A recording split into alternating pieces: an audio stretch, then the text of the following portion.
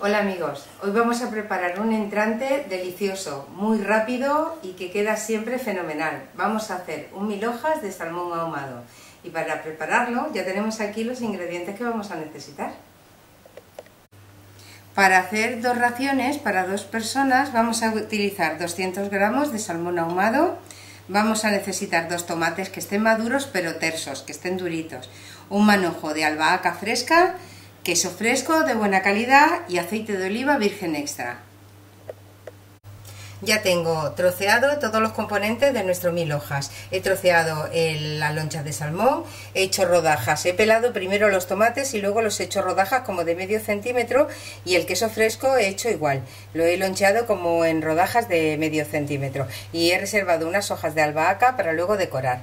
El resto de hojas de albahaca las tengo ya lavadas, las he secado con una servilleta de papel y las vamos a convertir en un aceite de, de albahaca. Vamos a ponerlas en el vaso de la batidora y le vamos a añadir aceite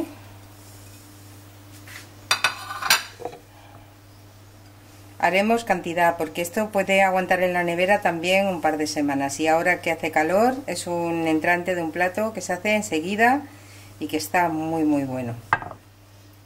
Vamos a triturar hasta reducirlo a un puré.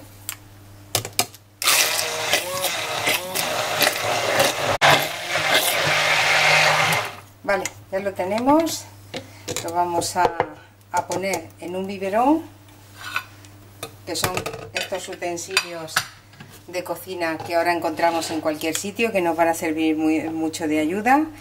Vamos a poner nuestro aceite. Aquí en este mismo biberón lo podemos cubrir con papel film y ponerle la rosca y lo dejamos en la nevera como os he dicho. Nos aguanta una semanita tranquilamente. Y ahora ya vamos a montar nuestro plato. Es así de fácil. Vamos a poner el plato de servicio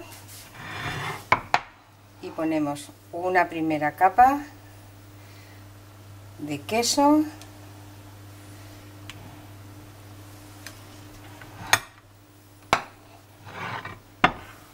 Vamos a poner una de tomate. Y sobre esta de tomate le vamos a poner un poquito de sal y unas gotitas del aceite de albahaca y ahora pondremos nuestra loncha de salmón y repetimos la operación.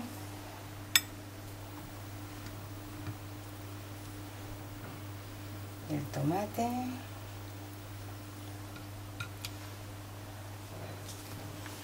Un poquito de sal.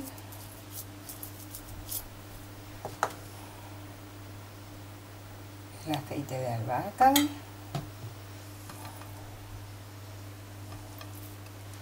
Y el salmón. Volvemos a repetir.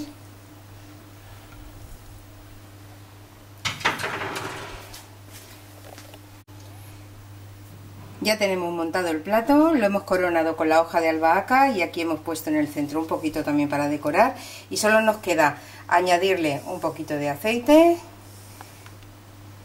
y un poquito sobre el plato y ya lo tenemos listo para servir y poder tomárnoslo. Queda delicioso, probadlo, os va a encantar.